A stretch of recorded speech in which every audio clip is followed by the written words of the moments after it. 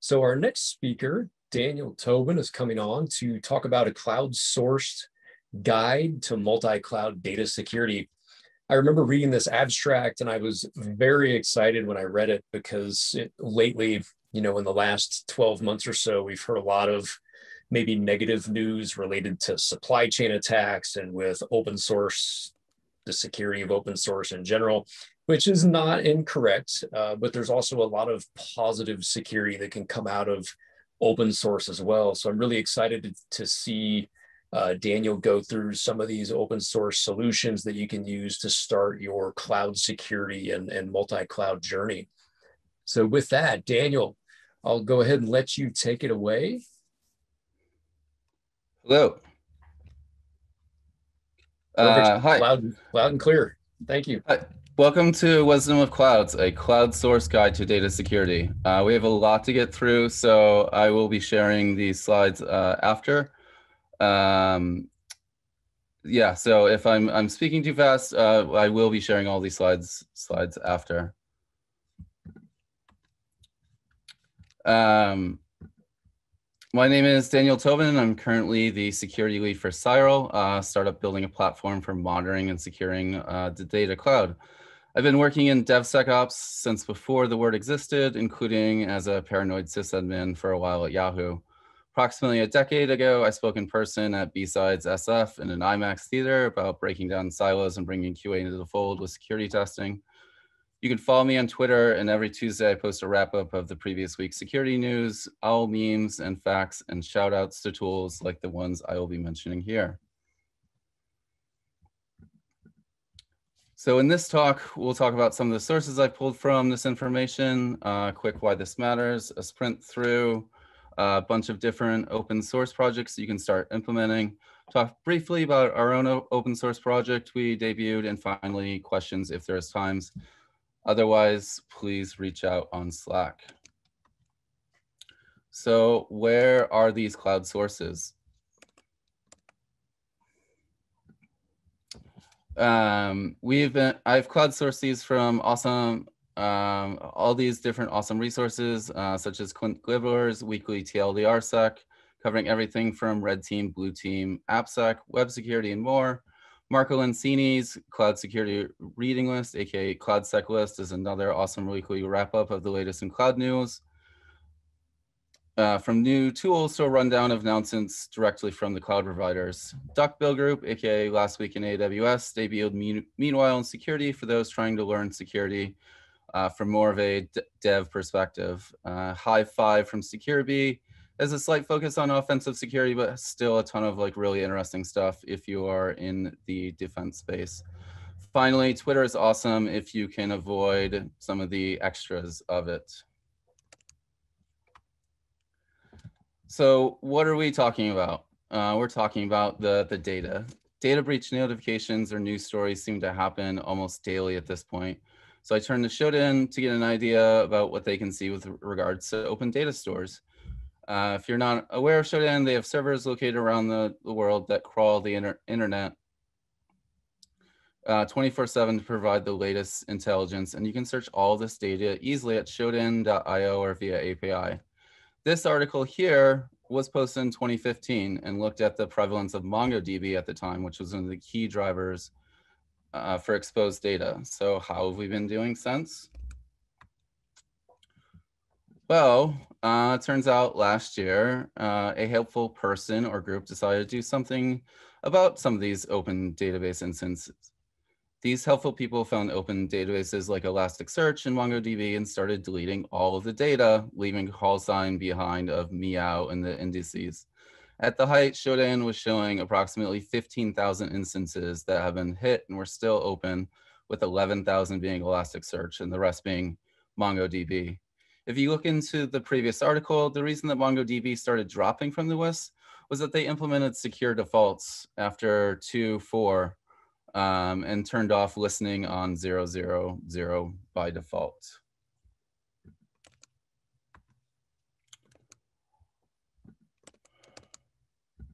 What's interesting though is that what they've seen is that even though we think of MongoDB and Elasticsearch Uh, what they're showing is that HDFS is actually the largest amount of, of data by size being exposed.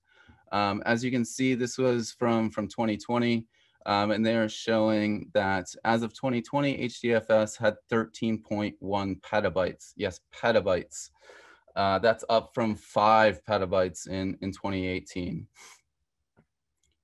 Elastic is nearly to 2018 HDFS levels in 2020, though, at 3.2 petabytes. Um, but those numbers may be down after the, the meow.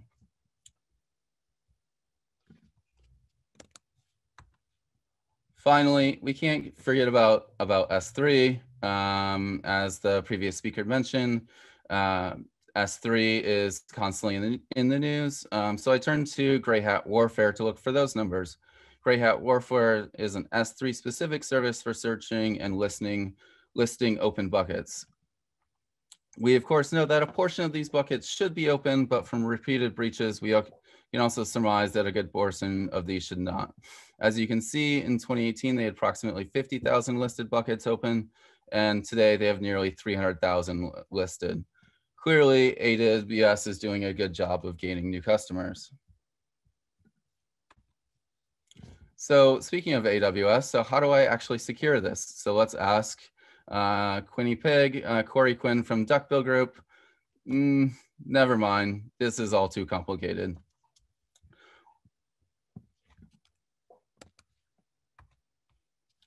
So how complicated is it? Well, let's look at the entire offering from uh, AWS. This is from Scott Piper, uh, formerly of a uh, consulting firm called Summit Route um, and it shows the count of APIs by AWS service grouped by the categories in the web console. Um, I'm not even sure what I know what whole categories of these services are, let alone how to even to start to secure them.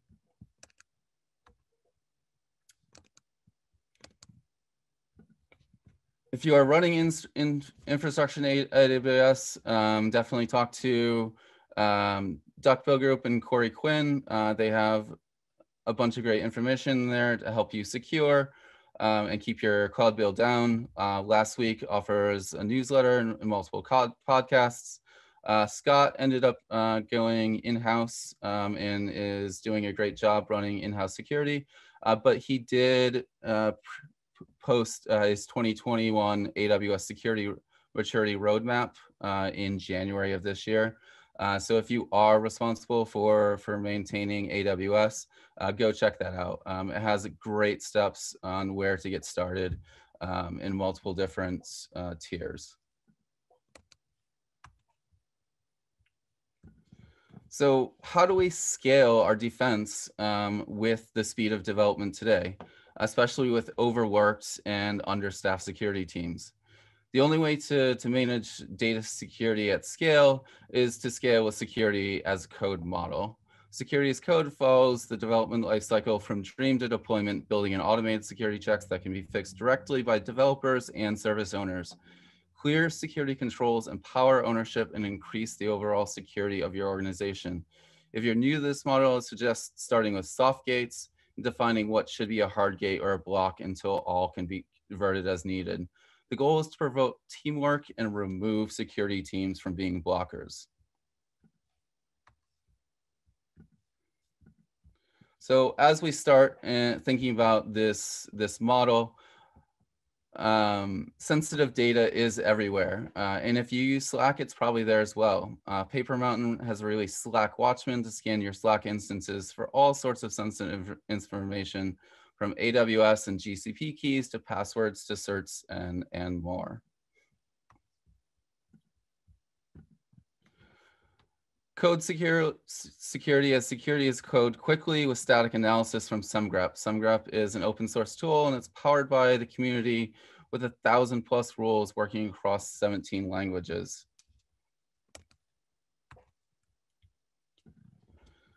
The CodeCov supply chain attack upped the standard secrets risk, but secret check-in is still a legitimate risk. So what can we do?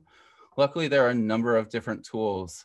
Uh, one of the GitHound was released by security researcher, after using it for finding secrets in GitHub and receiving over $7,500 in bounties. GitHub is in the process of building out their own tool.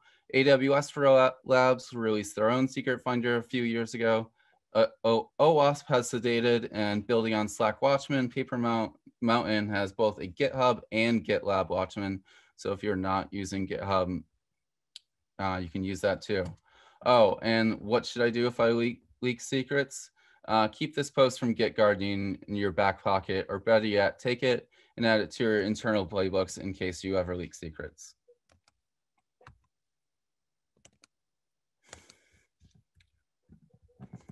Infrastructure as code tools have exploded in the past year or so, from Conftest to KICS to Checkov and more.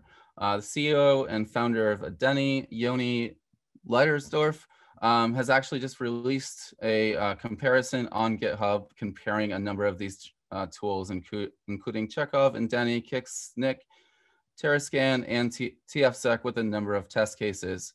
Um, this is all on, on GitHub, so you can see the test cases that are there. You can contribute your own. Um, as you go through this, um, even though it is from a vendor, uh, they are trying to push general uh, infrastructure as code security. Uh, so you can see all the pros and cons there. Uh, we talked about uh, Shodan.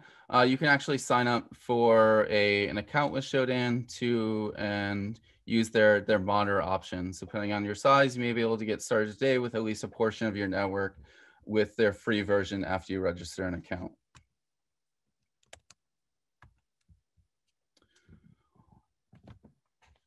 So we did talk about S3 and the controls in place for S3 now are much better and easier to use. Uh, you can block public access at the organization or account level. You can get alerts from trusted advisor for public endpoints.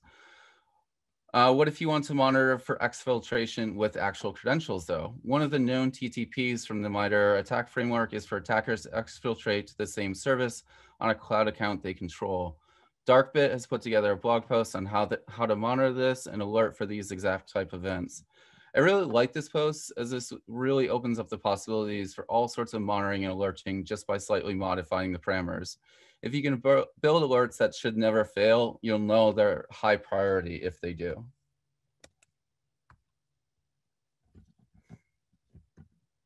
Bucket Brigade is designed as a total S3 security solution from inventory to secrets to, to secret scanning and more. One of the things that sets this apart is that it also includes policy templates for maintaining clear bucket ownership, enforcing public access blocks, and getting exemptions. It extends the policies with email templates for leadership and user communication to ensure that the policies and processes are well understood prior to your company's implementation.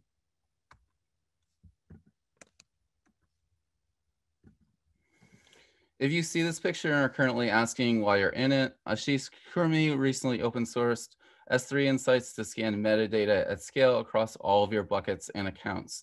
Ashish found that most solutions out there would fail, fall back to random sampling, which necessarily misses a ton of information for large data sets.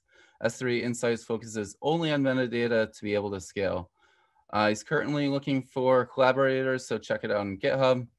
Finally, check out the awesome S3 security list from MXM0Z on GitHub for finding, scraping, and managing data in open S3 buckets.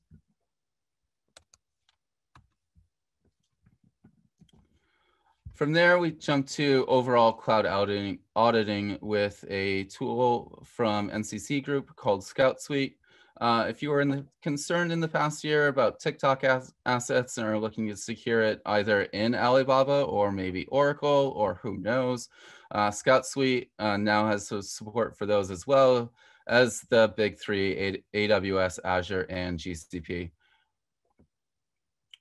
Full reports are generated with discrete action items.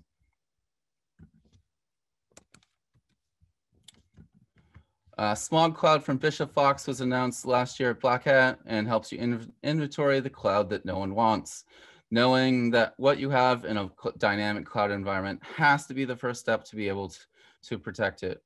You may think you have an idea, but if you're dynamically, actually dynamically scaling, you may think you own things that you don't and don't own things that you, you do.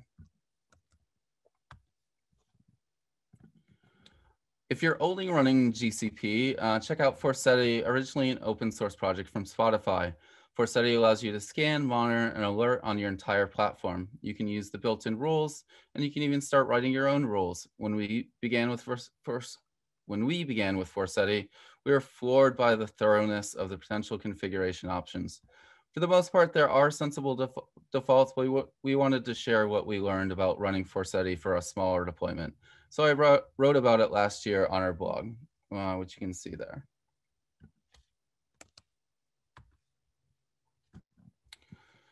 K8s is everywhere and security is getting better, but if you're running Kubernetes, check out all these awesome tools. Darkbit uh, has MKIT for any type of de deployment, uh, whether it's AKS, EKS, GKE, or if you're just running K8s by itself. Sysdig put out a post on GitHub action-based config review. InfraCloud has a post on pod security policy with uh, Open Policy Agent, aka OPA, OPA. And GCP has their own GKE auditor uh, that they released on GitHub as well.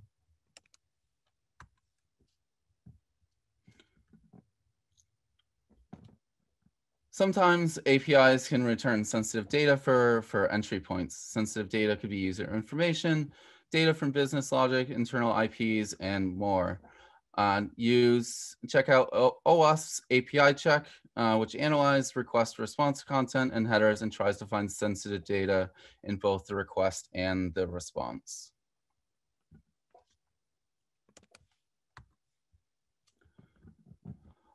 WW Tech built an internal AppSec platform using some of the um, using a number of different AWS tools uh, to discover public web apps assets, perform port scanning, fingerprinting, and other useful reconnaissance, and launches light security scanning to identify potential risks, all built upon free open source tools and low cost AWS services. Uh, um, I want to highlight Amass and Subfinder, um, which are awesome tools to help you get a control of what you have out there in, in AWS, um, etc. Um, these will you may be surprised what you what you have out there. Um, I really like this post as an overlay of a way to build a full program using mostly open source tools. Um, um, yeah, and I really love Amass and Subfinder. If you've never run these before, you may be shocked at the amount of public information out there, especially since the advent of certificate transparency logs.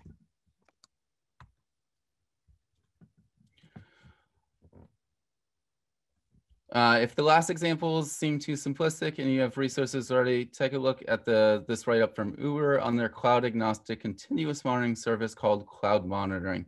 CMON. Come on uses Hammer, an open source project by Dow Jones composed of a collection of Lambda functions written in Python. These Lambdas act as a configuration violation checkers across AWS accounts and aggregate all the findings in an easy to manage set of Dynamo, Dynamo DB tables in a centralized account. CMON then calculates vulnerability ratings, runs it through a number of deduplication steps, and Uber tools to create more manageable tickets for service ownership teams to resolve directly. I think this is really a, a top-notch post of like where security engineering can go, like putting together all these these tools um, and being able to scale at the um, the size of of Uber. Uh, finally, I want to talk about a project that we released, uh, that Cyral has released called Approzium. Uh, we've released this to help developers and more improve the observability and security of their applications. Allows applications connect to databases without requiring access to credentials and emits logs, metrics, and traces with inf enriched information about their runtime execution context. It's built as a lightweight open source library with multi-language and multi-cloud support. Approzium comprises of two components that are deployed independently, an SDK that runs as part of the application code, and a standalone service called the Authenticator with which the SDK interacts on behalf of the application. A single Authenticator instance can support multiple applications, which may be set up optionally as an auto scaling group for load balancing purposes. The SDK has the ability to query infrastructure metadata services native to various cloud platforms and to or orchestration frameworks such as Kubernetes to generate rich execution time context about the application.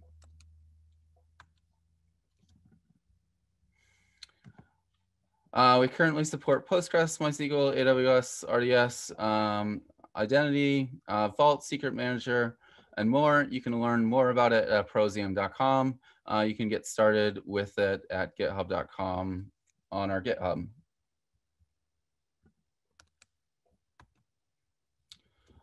Uh, I also want to highlight uh, the OWASP database security cheat sheets and in general, all of their uh, cheat sheets. Uh, these are written for devs and give a great primer on what to do in general. Uh, best, I liked, I really liked using these as uh, circulating, using as teaching tools, uh, posting these in Slack, um, and really starting to work with uh, developers.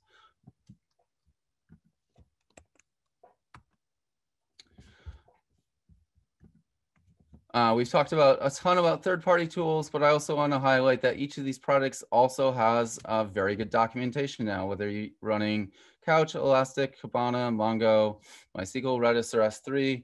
Uh, we've really come a long way in the past uh, five or six years about getting to secure defaults with a lot of these, um, with security now being built in.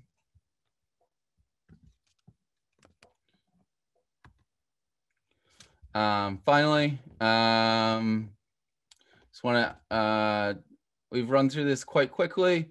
Um, I know I, I sprinted through this. Um, if you have any questions, please reach out to me um, on Twitter, DanT24. Uh, we're also hiring. Um, uh, you check that out at cyral.com slash careers. Um, I'll be around for Slack and, and here to answer any questions that you, you might have. Excellent. Thanks, Daniel. That was a tremendous amount of information and tooling uh, in that slide deck. So I know a lot of the folks are really excited that they're published just so they can go in and play with some of those and get that nice collection that you walk through. We've got a couple of minutes here. One of the Q and A's that came in uh, was about, uh, and this is your tool, uh, Approzium, uh, asking about you know connecting to the environment and what sort of credentials are needed in order for that tool to run can you shed some light on kind of how you wire up the identity for that service and, and what all goes into that um, yeah so what what happens instead of using passwords uh, directly uh, the SDK um, reaches out for uh, a token um, from the authenticator service. Um, so you don't need the credentials directly on the database service. It contacts a the authenticator service, which then connects to your uh, your uh, secrets provider, such as Vault. Excellent. So hopefully that helps. Um, I'm more curious just than anything when you were doing some of your Shodan searches and kind of looking into secrets management, um, did you all run into anything surprising out there from a vulnerability perspective that you had to disclose to other folks? Um, no, no, we didn't really get in, did into that too much. Um, just looking, tried to look more like at metadata, um, seeing like where um, where everything was. Um, and really, this is a worldwide problem.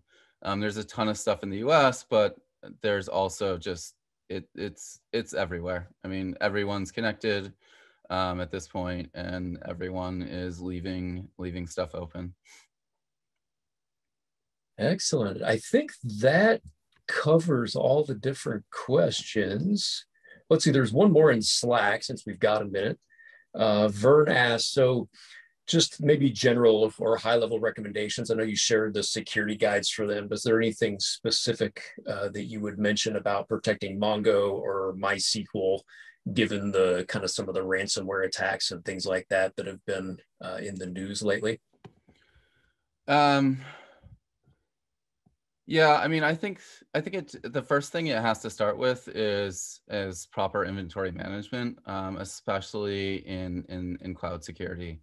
Um, unless you are an incredibly small shop um, that doesn't use dynamic scaling, like I've seen it over and over again that even if you think you you own stuff, you might not own it. Um, just the the the interconnections, like they they sometimes break, like tearing stuff down, um, building stuff like back up. Um, maybe there is a, a temporary outage in in AWS um, and you don't have proper re- retry. Um, you think everything like was torn down, um, but you actually now are pointing a, a Route 53 address at an EC2 instance that you no longer own. Um, and I think just having that constant scanning um, and an inventory of not only the things that you know you own, but using tools like Amass, um, like Subfinder, um, running scans like publicly, whether that's using a tool like Shodan or running it from a third party um, cloud account. Like maybe you want to scan your AWS stuff from GCP and your GCP stuff from AWS. Um, I know we all talk about zero trust. So if you are running zero trust like that, that is great. Um, and everything is public. Um, so it's even more like to get to that, like we need to make sure that we know what we have uh, constantly, especially if you are in a dynamic like scanning environment. Um, we scale up, we scale down, and we just need to make sure that you are you have the inventory that you you know you have. Um, and I think we see that like over and over. It's just there's too much out there, um, especially a multi-cloud um, or even trying to do the like multi-account that the previous speaker mentioned in, in AWS. Um, if you're running an account per developer to, to have that sort of separation, the blast radius uh, does reduce, um, but that visibility, you may not have that visibility. So I think it really comes down to like inventory and knowing what is actually out there.